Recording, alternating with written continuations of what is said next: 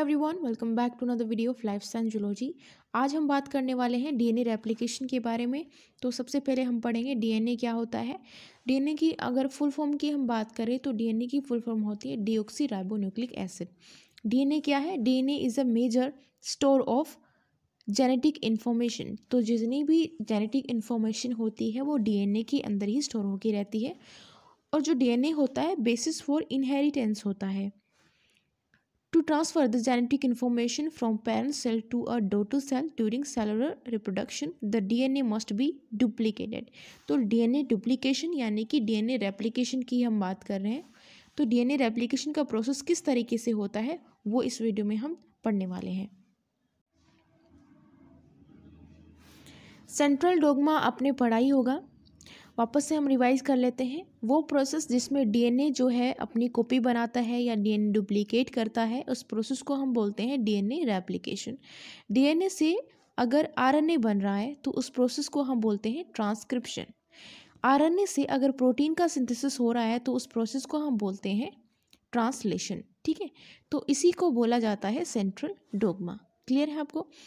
कभी कभी आरएनए से भी डीएनए बनता है, इसको हम बोलते हैं रिवर्स ट्रांसक्रिप्शन ठीक है रिवर्स ट्रांसक्रिप्शन यानी कि वापस से प्रोसेस हो रहा है ट्रांसक्रिप्शन का, जिसमें आरएनए से डीएनए का सक्सेस हो रहा है। अभी हम जो डिस्कस करने वाले हैं, वो है रेप्लिकेशन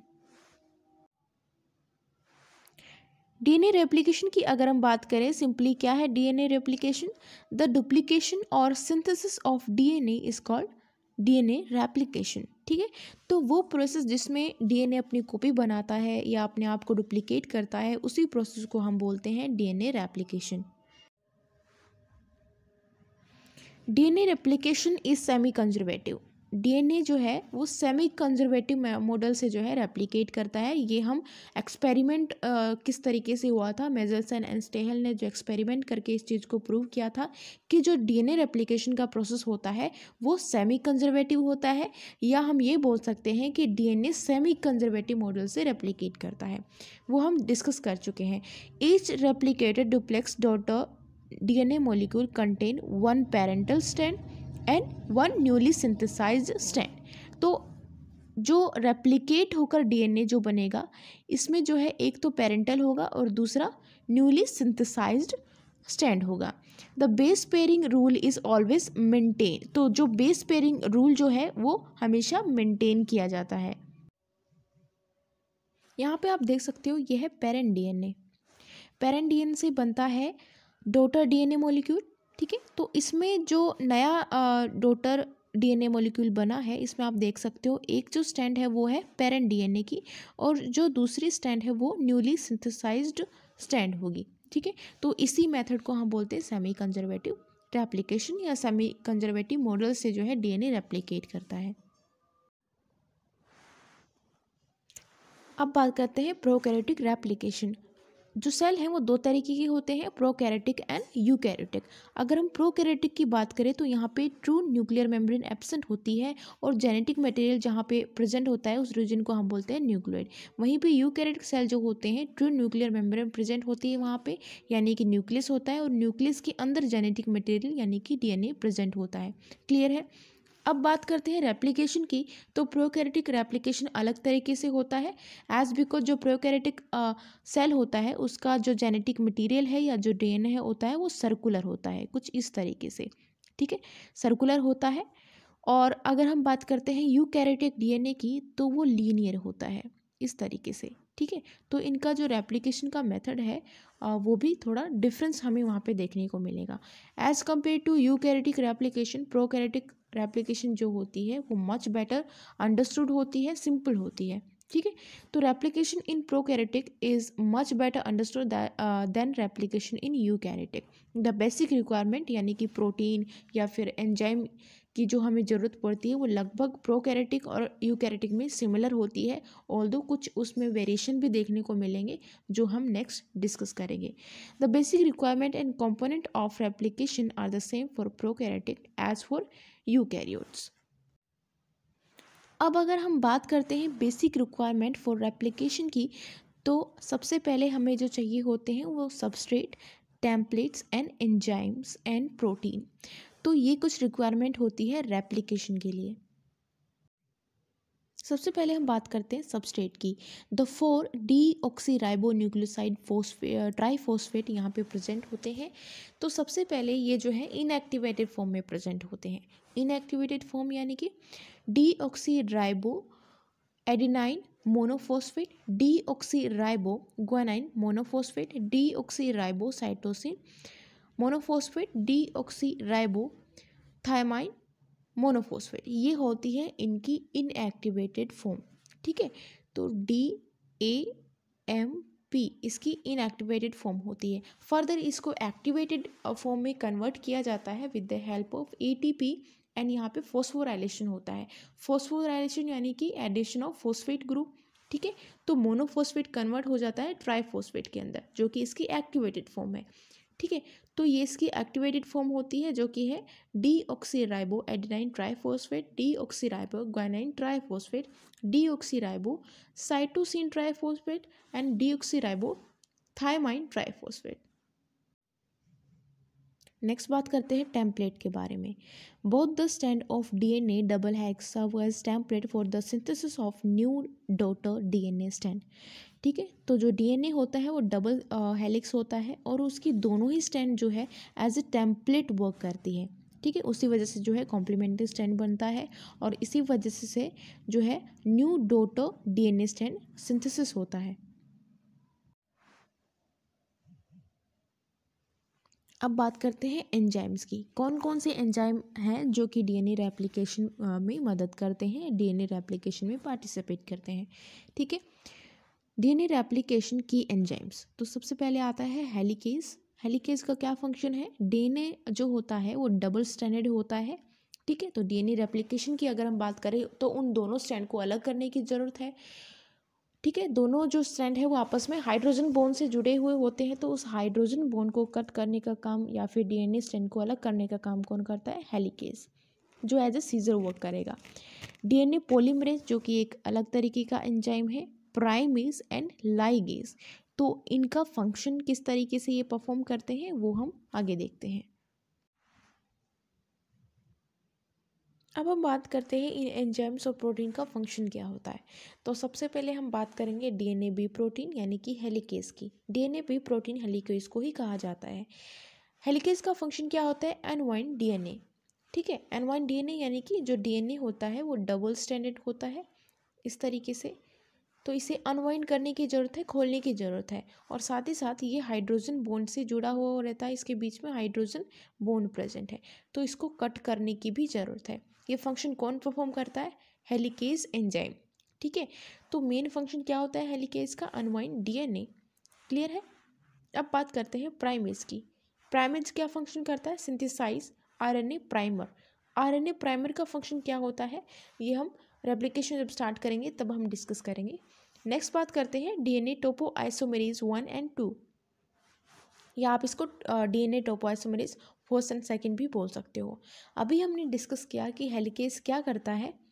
जो डबल स्टैंडर्ड डीएनए होता है, उसको अनवाइंड करने का काम करता है। कुछ इस तरीके से कि, मान लीजिए डबल स्टैंडर्ड डीएनए है तो इसको अनवाइंड कर दिया। अनवाइंड होने के बाद में कुछ इस तरीके का स्ट्रक्चर हमें दिखाई देगा। ठीक है? तो आप देखोगे कि किसी भी चीज़ को हम खोलेंगे तो यहाँ पे आपको यानी कि स्ट्रेन यानी कि हम बोल सकते हैं टेंशन बढ़ चुकी है। ठीक है? तो इस टेंशन को या स्ट्रेन को कम कम कम करने का काम कौन करता है? डीएनए टोपोआइसोमरेज ठीक है? Relieves torsional strain by cutting and joining single strand और बोथ स्टैंड ठीक है? तो ये काम कौन करता है? टोपो टोपोआइसोमरेज कि जो डीएनए है, उसमें किसी तरीके का कोई तनाव या टेंशन पैदा ना हो तो उसी तरीके से ये फ़ंक्शन करता है डीएनए टोपोआइसोमरेज नेक्स्ट आता है डीएनए पोलीमरेज डीएनए पोलीमरेज का फ़ंक्शन क्या होता है? डीएनए चेन इलोंगेशन वहीं पे डीएनए लाइगेज जॉइंस ओकाजा की फ्रेगमेंट्स ओकाजा के फ्रेगमेंट्स को ही ज्वाइन करने का काम करेगा। नेक्स्ट आता है एंजाइम एंड प्रोटीन में DNA A protein opens duplex at origin of replication जिसको ओरी भी कहा जाता है, ठीक है? तो ये क्या करेगा? Open duplex at origin of replication जहाँ से रेप्लिकेशन स्टार्ट होना है, जहाँ से रेप्लिकेशन का प्रोसेस स्टार्ट होना है डीएनए के अंदर, ठीक है? नेक्स्ट आता है एस एस बी यानी कि single strand binding protein clear है? अभी हमने देखा था कि जो डीएनए है वो अनवाइंड हो गया था, ठीक है? इस तरीके से। ये वापस से भी बाइंड कर सकता है एज बिकॉज़ हाइड्रोजन बॉन्ड इसमें इस तरीके से प्रेजेंट है तो वापस से जो है बाइंड कर सकता है। इसको वापस से बाइंडिंग करने से बचाने के लिए जो है यहाँ पे प्रेजेंट होता है एस एस बी यानी कि single strand binding protein bind separated single stranded DNA and stabilize it तो ये इसका फ़ंक्शन होता है एस एस बी यानी कि सिंगल स्टैंड बाइंडिंग प्रोटीन का। अब हम बात करते हैं ter binding protein prevent the helicase from further unwinding and facilitate termination ठीक है, जब टर्मिनेशन यानी कि रेप्लिकेशन का प्रोसेस जब एंड पे आता है, तब टर बाइंडिंग प्रोटीन का फ़ंक्शन होता है। ये क्या करता है? हेलिकेज को यानी कि prevent the helicase from further unwinding helicase और अनवाइंडिंग ना करे, उसी के लिए जो है ये रिस्पॉन्सिबल होता है और ये टर्मिनेशन का काम करता है। डीएनए रेप्लिकेशन का जो प्रोसेस होता है, वो थ्री स्टेप में होता है। ठीक है? Initiation elongation and termination DNA replication में सबसे पहले जो स्टेप आता है, वो आता है इनिशिएशन तो सबसे पहले हम इनिशिएशन के बारे में पढ़ते हैं। इनिशिएशन में क्या होता है? DNA A protein recognise and bind to the ori यानी कि origin of replication of the DNA and the denature the DNA तो सबसे पहला स्टेप क्या हो रहा है? कि डीएनए ए प्रोटीन जो है ठीक है, वो रिकोगनाइज करता है और यानी कि ओरिजिन ऑफ़ रेप्लीकेशन कहाँ से रेप्लीकेशन शुरू होना है, ठीक है? Next step prokaryotic which have single circular DNA जो प्रोकैरियोटिक सेल होते हैं, उसमें एक ही डीएनए होता है और वो भी सर्कुलर होता है। Unwind as such way as to form an eye और बबल तो जहाँ से अनवाइंडिंग शुरू हो जाती है at the place of origin of replication prokaryotes के अंदर वहाँ पे जो है एक बबल जैसा स्ट्रक्चर आपको दिखाई देगा। नेक्स्ट आता है replication of double standard DNA is bidirectional ठीक है? बाई डायरेक्शन यानी कि दो डायरेक्शन में जो है रेप्लीकेशन का प्रोसेस होता है। यहाँ पे आप डायग्राम में देख सकते हो किस तरीके से जो है डीएनए ए प्रोटीन रिकोगनाइज करता है ओरिजिन ऑफ़ रेप्लीकेशन यानी कि ओरिगो ठीक है? यहाँ पे जो है, जब यहाँ पे रिकोगनाइजेशन हो गया है और ओरिजिन ऑफ़ रेप्लिकेशन का यहाँ पे बाइंड कर जाता है हेलिकेस यानी कि डीएनए बी प्रोटीन क्लियर है? उसके बाद यहाँ पे आप देख सकते हो बबल जैसा स्ट्रक्चर यहाँ पे बन जाता है, ठीक है? In eukaryotes replication begin at multiple site, composed almost exclusively at AT base pair. ठीक है एटी बेस पेयर यानी कि एडेनाइन एंड थाइमाइन की यहाँ पे बात हो रही है। तो हमें पता है कि एडेनाइन और थाइमाइन के बीच में डबल बॉन्ड होता है और ग्वाइनाइन और साइटोसाइन के बीच में जो है ट्रिपल बॉन्ड प्रेजेंट होता है।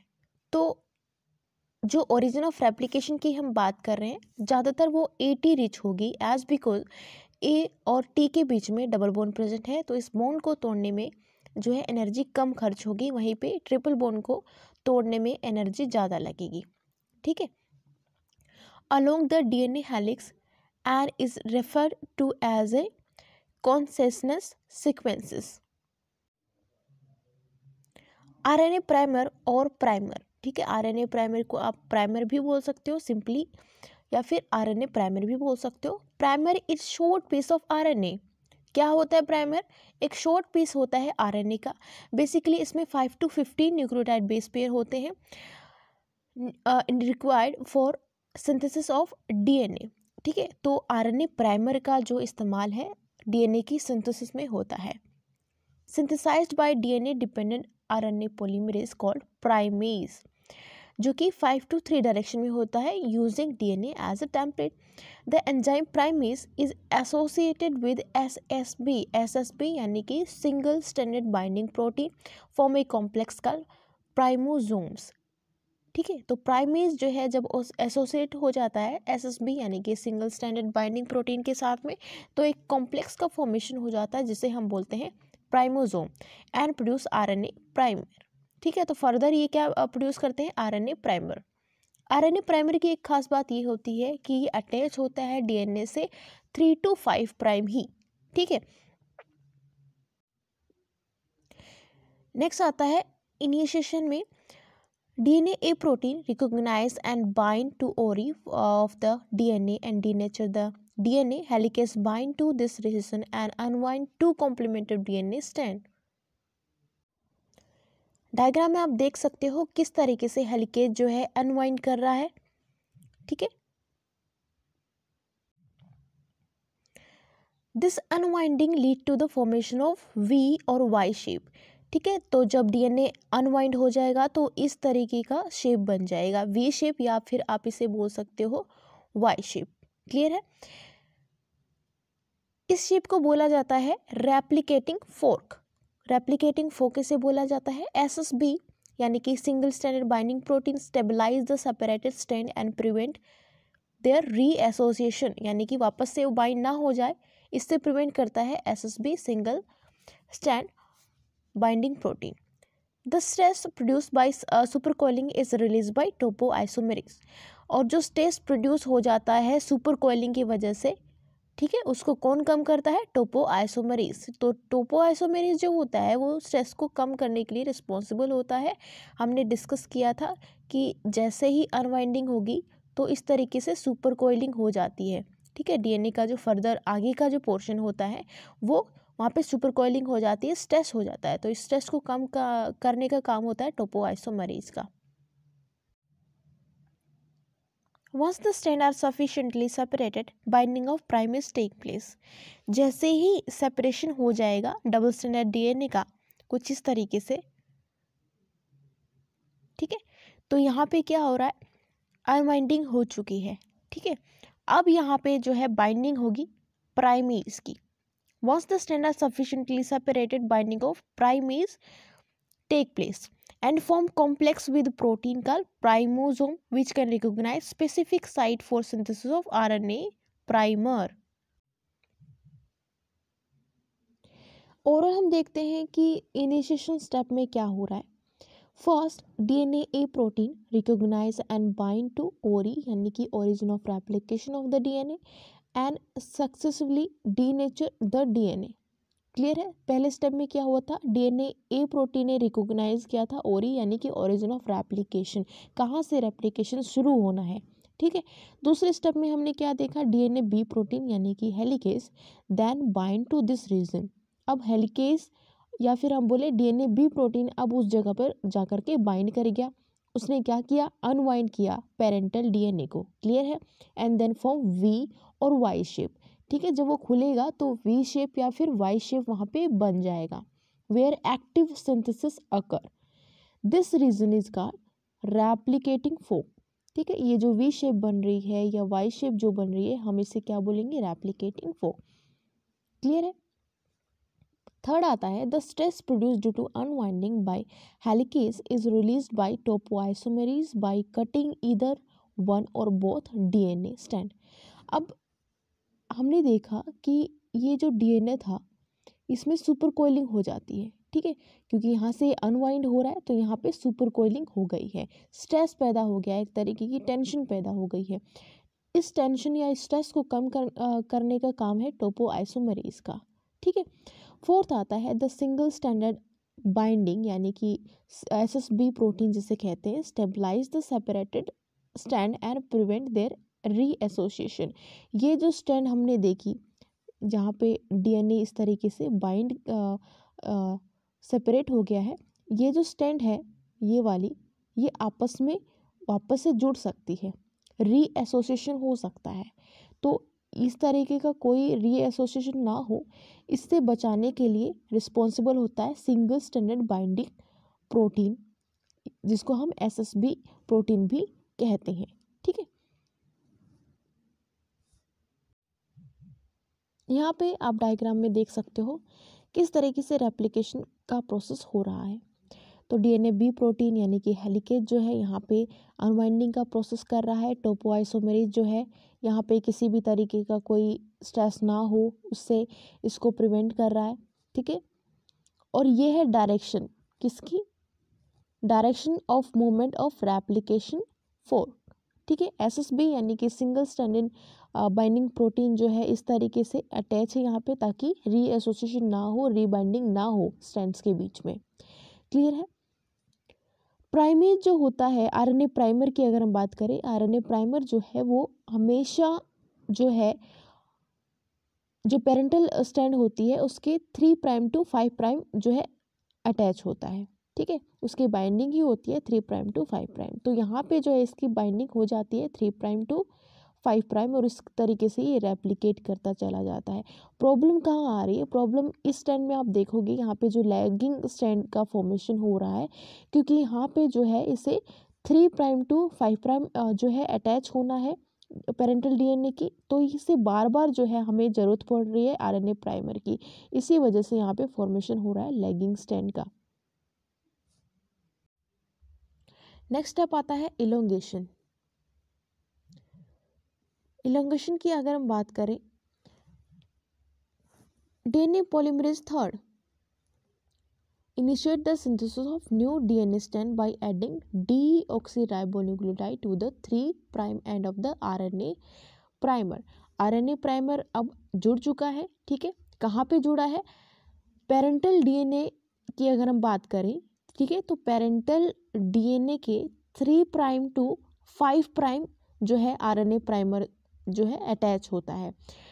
तो डीएनए पॉलीमरेज थर्ड का क्या काम है? DNA polymerase third the synthesis of new uh, DNA strand by adding deoxyribonucleotide किसी भी deoxyribonucleotide को ये ऐड कर देगा on three prime end of the RNA primer next आता है thus RNA polymerase 3 can synthesize a new chain only in the direction of 5 prime to 3 prime direction. Clear है? क्योंकि अटैचमेंट कहाँ हो रहा है? थ्री प्राइम एंड पे। RNA के। आरएनए प्राइमर के थ्री प्राइम एंड पे जो है अटैच हो रहा है डीऑक्सी राइबोन्यूक्लियोटाइड कौन अटैच कर रहा है? डीएनए पॉलीमरेज थर्ड ठीक है? तो यहाँ पे जो है सिंथेसिस किस तरीके से होगा? जो न्यू स्टैंड बनेगी, वो किस तरीके से उसका सिंथेसिस होगा? Five prime to three direction three prime direction ठीक है? Both the D N A stand are synthesise simultaneously but in opposite direction one in direction towards the replication fork and other is a direction away from the replication fork ठीक है? दोनों ही direction में replication हो रहा है, लेकिन एक जो सिंथेसिस हो रहा है वो कहाँ पे हो रहा है? टूवर्ड्स द रेप्लीकेशन फोर्क दूसरा हो रहा है away from the replication fork क्योंकि सिंथेसिस का आ, से कहा होगा? Five prime to three prime direction अब इस प्रोसेस की वजह से दो चीज़ें होती हैं। पहला बनता है लीडिंग स्टैंड ठीक है? तो जो लीडिंग स्टैंड बनता है the DNA chain which run three prime to five prime direction is copied by polymerase third as a continuous stand requiring one primer तो यहाँ पे एक ही प्राइमर की ज़रूरत होती है एक ही आरएनए प्राइमर की ज़रूरत होती है तो यहाँ पे कंटिन्यूस जो है सिंथेसिस हो जाता है नए स्टैंड का। क्लियर है? दिस न्यू स्टैंड इज़ का लीडिंग स्टैंड ठीक है? क्योंकि यहाँ पे हमें एक ही आरएनए प्राइमर की ज़रूरत पड़ी है और यहाँ पे कंटिन्यूस सिंथेसिस हो रहा है। यहाँ पे कंटिन्यूस स्टैंड बनेगी, जिसे हम बोलेंगे लीडिंग स्टैंड नेक्स्ट आता है lagging stand the DNA chain which run in five prime to three prime DNA की वो चेन जो कि फाइव प्राइम से थ्री प्राइम की तरफ़ जा रही है direction is copied by polymerase third as a discontinuous manner because synthesis can only proceed to 5 prime to 3 prime direction. This new strand is known as lagging strand. This require numerous RNA prime. तो बहुत सारे RNA primer की यहाँ पे ज़रूरत पड़ जाती है इसीलिए यहाँ पे जो है छोटे छोटे फ्रैगमेंट्स बनते हैं, जिसे हम ओकाजा के फ्रैगमेंट्स बोलते हैं और स्टैंड को हम बोलेंगे lagging stand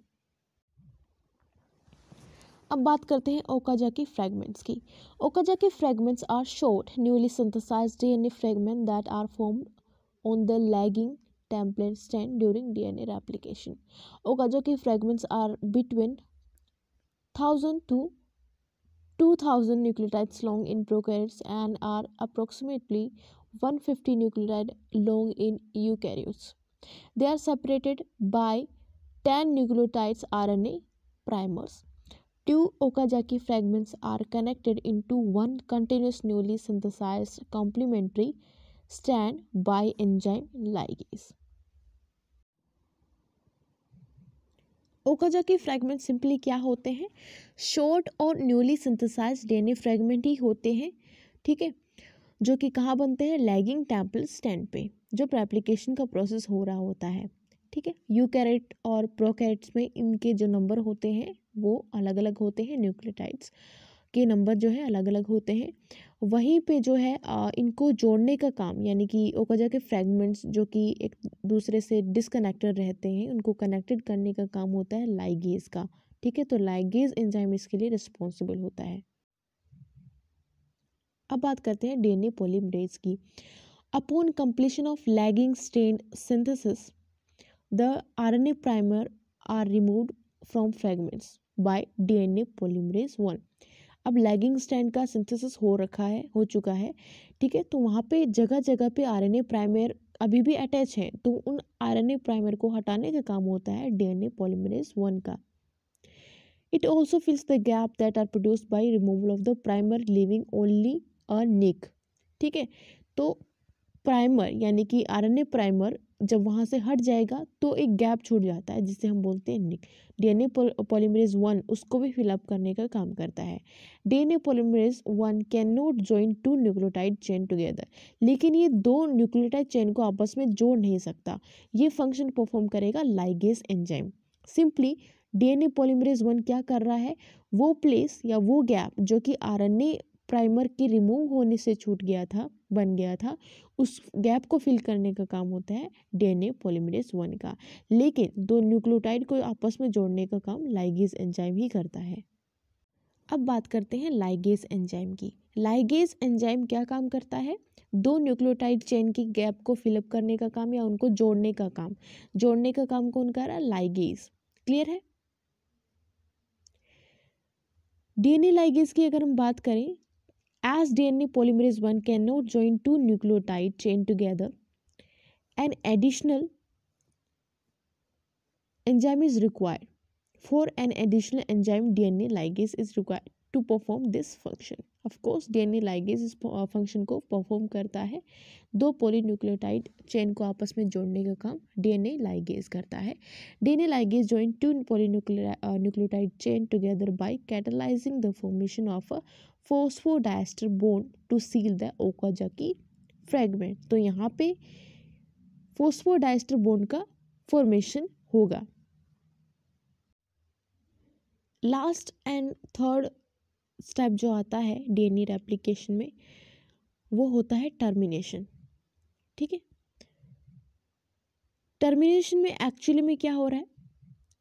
Termination sequence ter direct termination of replication तो यहाँ पे टर्मिनेशन हो जाता है रेप्लिकेशन प्रोसेस का. The specific protein that is ter binding protein bind this sequence and prevent the helicase ठीक है? तो ये जो फ़ंक्शन है, ये किस पे करता है? हेलिकेज पे, जिसकी वजह से हेलिकेज जो है फर्दर अनवाइंडिंग ऑफ़ डीएनए नहीं करता, ठीक है? तो वो जो अनवाइंडिंग होती है डीएनए की, वो स्टॉप हो जाती है और इसकी वजह से क्या हो जाता है? टर्मिनेशन ऑफ़ रेप्लिकेशन तो इस तरीके से होता है डीएनए रेप्लिकेशन का प्रोसेस आई होप ये वीडियो आपके लिए हेल्पफुल रहा हो. Thank you so much for watching this video and I see you in the next one Música